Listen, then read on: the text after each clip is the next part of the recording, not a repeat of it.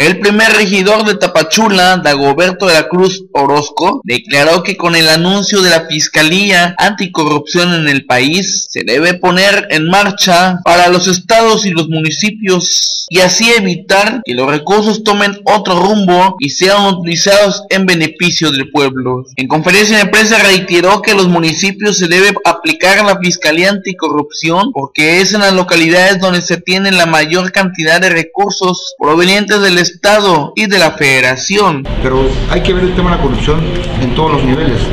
Si el gobierno federal se atreve a hacer este tipo de, cambios o hacer ese tipo de, de pronunciamientos, ¿por qué no hacerlo en el Estado? ¿Por qué no hacerlo en los municipios?